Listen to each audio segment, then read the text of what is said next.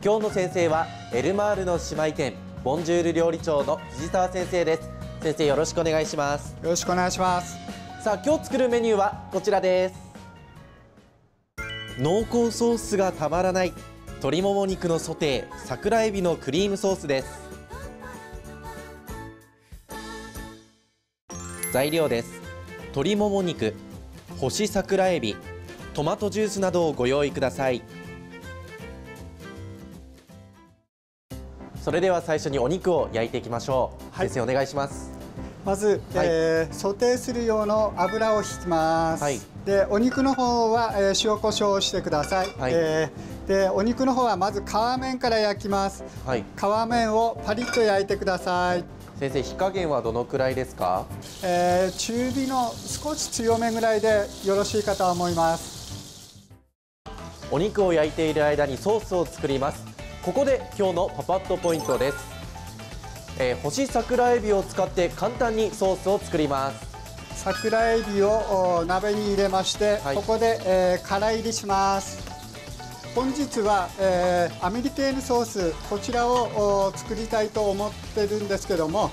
えー、本来はエビの殻や身を使いまして仕上げていきます。その代わりに本日は、えー、桜エビを使用しております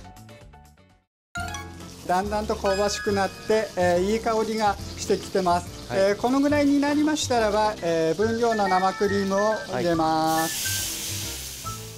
はい、でえー、生クリームを入れましたらば、はい、えー、全体を混ぜていきまして軽く煮詰めていきます。でここでエビの旨味を生クリームの方に移してください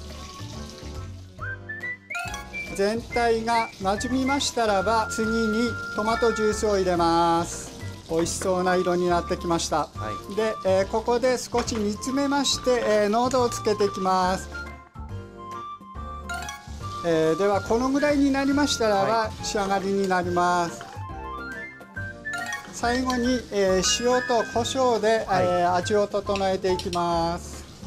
全体を混ぜていただきまして、はい、えー、馴染んだらばこれでソースの仕上がりです、簡単にできましたね。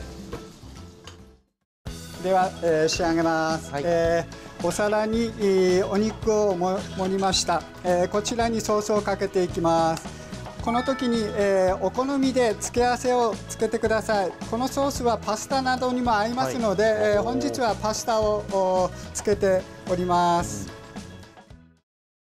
香ばしい香りが食欲をそそる鶏もも肉のソテーの完成です。早速いただきます。エビの旨味がしっかりと感じられます。濃厚なクリームソースが鶏肉の旨味をさらに引き立てているんですね。桜エビのカリカリっとした食感もまたいいですね。えー、本日作りましたソースなんですけども本格的に作りますと2日から3日かかってしまうんですけども家庭向けに簡単に、えー、できるソースに仕上げてみました。